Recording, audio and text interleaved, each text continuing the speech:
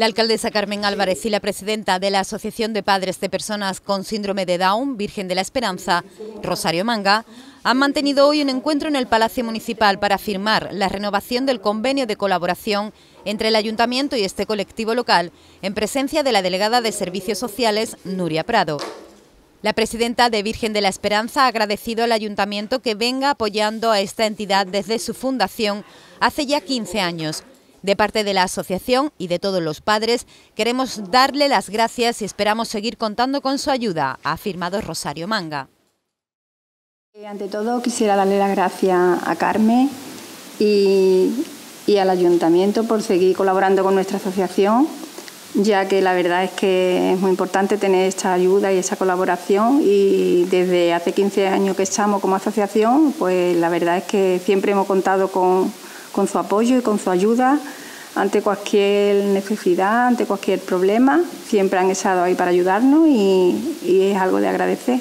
de parte de la Asociación Down, de todos los padres. Pues quisiéramos darle las gracias y esperamos seguir contando con su ayuda y su colaboración. Carmen Álvarez, que ha expresado su gratitud a la asociación por el trabajo que desarrolla, ha manifestado que la firma de este acuerdo refleja que el ayuntamiento mantiene su apoyo a esta entidad que se entrega por completo para ayudar a las personas con síndrome de Down. Por ello quiero comenzar agradeciendo a su presidenta, Rosario Manga, la increíble labor que realiza junto a todo su equipo, apoyando a las personas con síndrome de Down de Sanlúcar y a sus familiares. Gracias por ser un pilar en lucha a favor de la inclusión y por derribar las barreras que hay en el camino. Queremos que Sanlúcar sea más diversa, en la que todas las personas tengan un lugar, independientemente de su condición, y solo así creemos que se puede construir una ciudad más justa y más inclusiva en la que todos podamos aportar y sentirnos parte de un proyecto común. Por eso, como alcaldesa de este equipo de gobierno, tendremos la mano tendida a esta asociación en todo lo que necesite tiene las puertas abiertas de este Ayuntamiento de Sanlúcar para cualquier mejora y para mejorar la vida de, los ciudadanos y las ciudadanas sanluqueñas.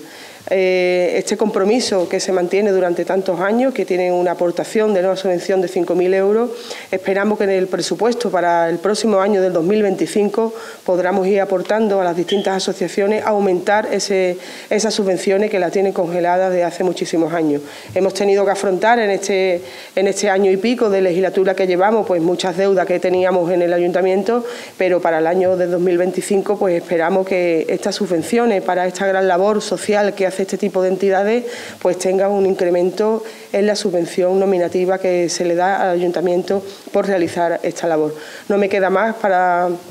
terminar que dar las gracias a todos los que componen la familia de esta asociación Virgen de la Esperanza y animarles a seguir desarrollando esta labor en pro de la igualdad y de la justicia social para los saluqueños y saluqueñas que son más débiles o tienen algún tipo de vulnerabilidad.